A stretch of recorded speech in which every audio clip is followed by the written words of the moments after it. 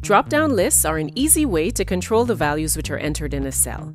They're very user-friendly and are a great way to reduce input errors. Today we learned two ways to make drop-down lists. What you're basically doing is asking Excel to validate the data that's being entered. So we'd need to go to the Data tab and click this little validation icon in the Data Tools group to tell Excel what is and what isn't allowed in the cell. Method one is to do it manually.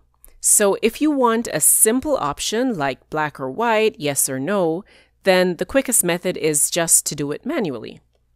We'd select the cell or range of cells where we'd want to create the drop-down list. So let's say here, we want to have the selections for the date validated.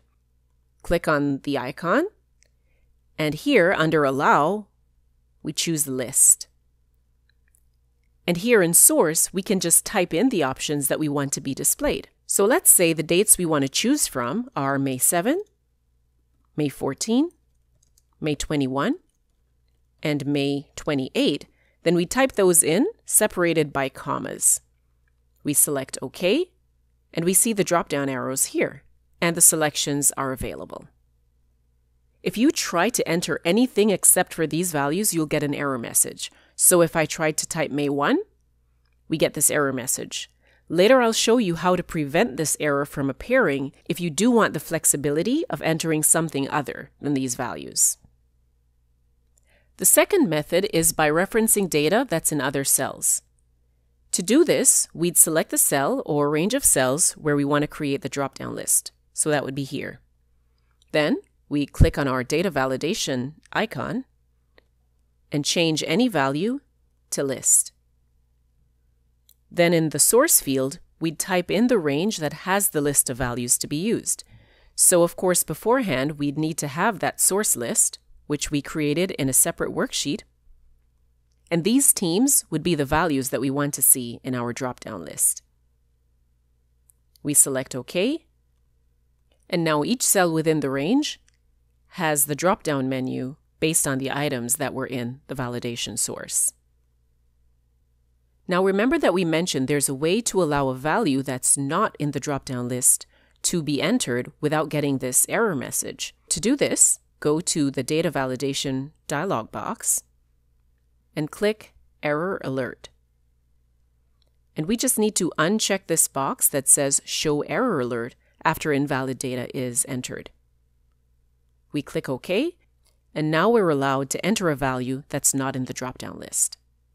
If you want to quickly add an item to a drop-down list, you can go to the source, right-click one of the values, click Insert, choose Shift Cells Down, and OK. Then you can insert a value here.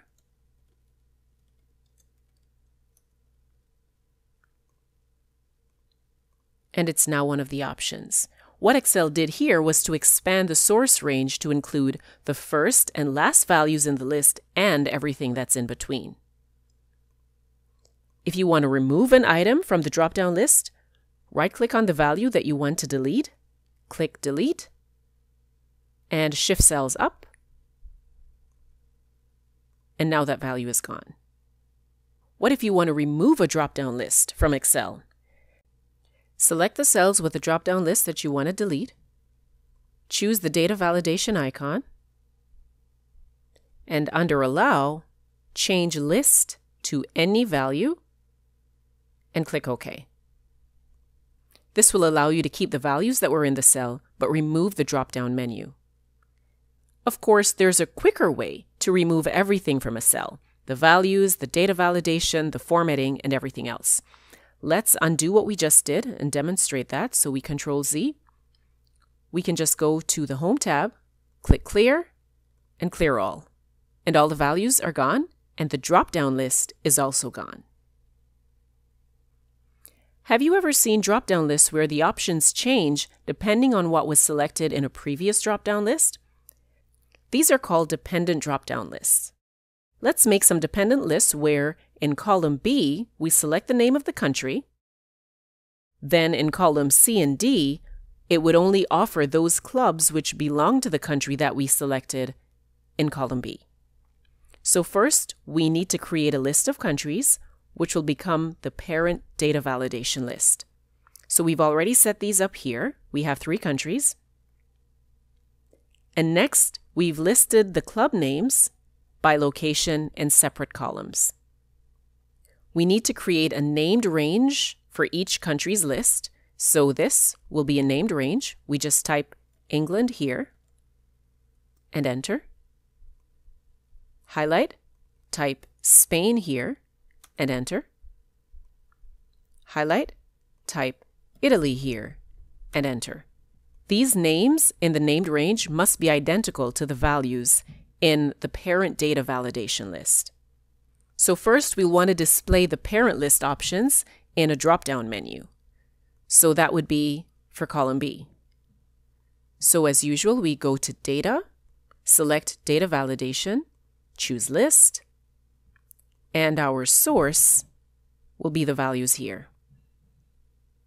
And we select OK. So let's say these are the countries that will be playing. And for the dependent list options, we want to select these cells, click on Data Validation, and choose List.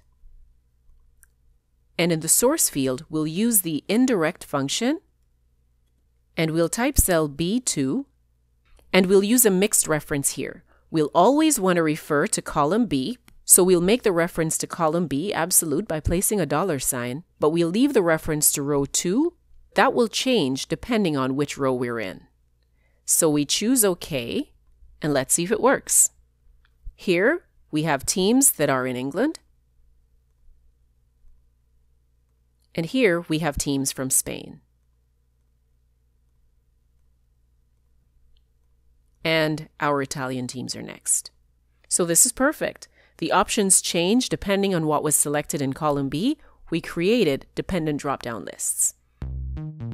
If you like this tutorial, check out our other videos and upgrade your Excel skills. Ready to learn more about Microsoft Excel? Then check out the full course on GoSkills.com. Click the link in the description.